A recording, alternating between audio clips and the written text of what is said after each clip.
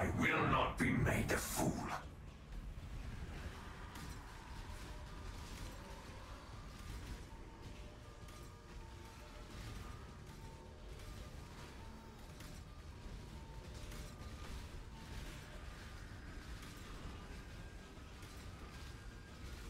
Purity will prevail.